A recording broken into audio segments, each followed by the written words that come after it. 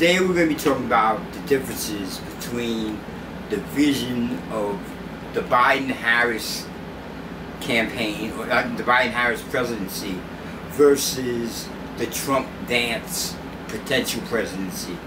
Um, the thing about the Vice President Harris is she has not released her policy statement yet on AI, so I'm not really sure where she stands on it.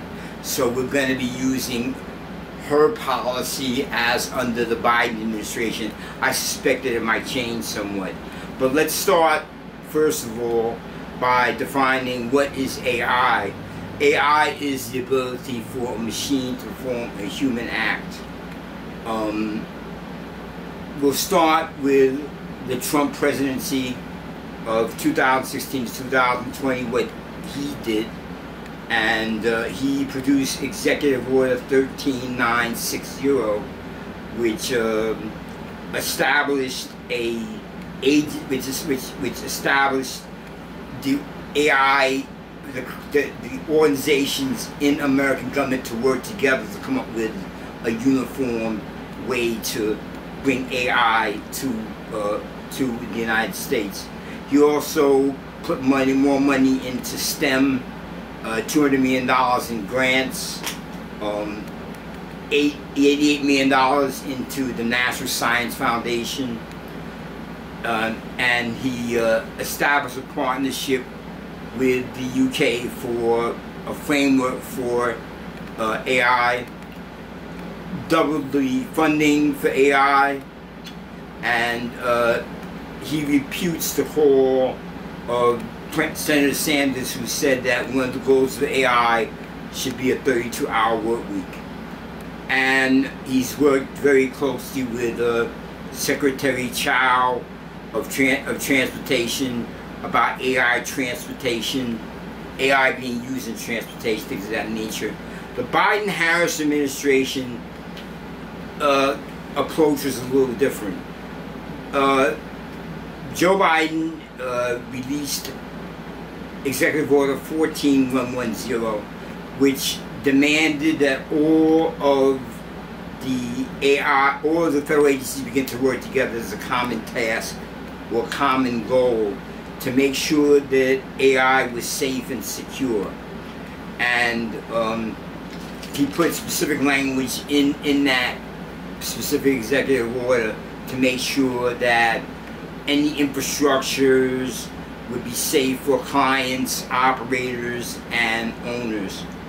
The National CHIPS Act, he passed $39 billion in loans and grants, and um, that's being administered by the Department of Commerce.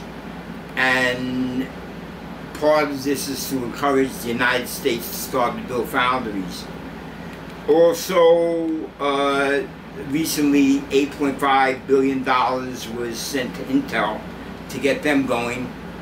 President Biden implemented the blueprint for AI, which is uh, a Bill of Right and Fairness.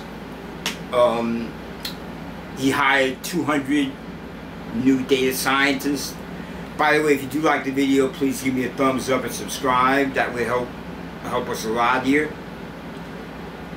President Biden also developed a test bed for AI.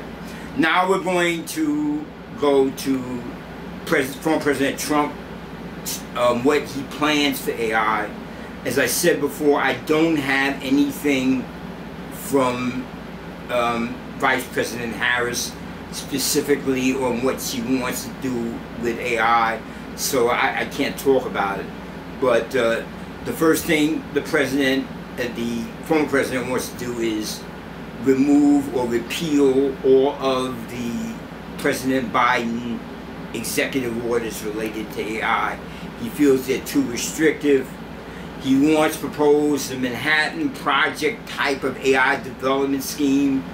Um, for those of you who are not familiar with the Manhattan Project, that's when the United States employed 20 thousand people throughout the country to develop the atomic bomb. Uh, he is very concerned with the safety of AI. He wants to make sure there's guardrails there. We find that in a survey that 33% um, of Americans feel that AI should be eased a little bit. It's a little bit too restrictive. 39%, 37% of Americans feel that uh, there should be restriction on AI, and 30 not 30% are unsure on on AI. In addition, I think I think his relationship with Elon Musk would be interesting, and we want to see that what comes out of that. Um, so the safeguards are critical. Um, both can't both President Biden and President Trump agree that there needs to be safeguards handled at the national level. The difference I can see between the two policies is that President Biden seems to be more concerned with safety and guardrails and fairness, which is important. And President, uh, former President Trump seems to be more concerned with us competing against the world in AI. I'd like to thank you very, very much for your time you spent with me. Um, I hope you enjoyed the video. And if you did, can you please give me a thumbs up and have a good day.